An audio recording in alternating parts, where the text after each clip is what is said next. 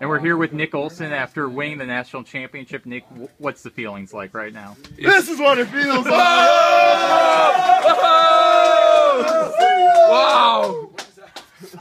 Well, it's like that. Unexpected, really.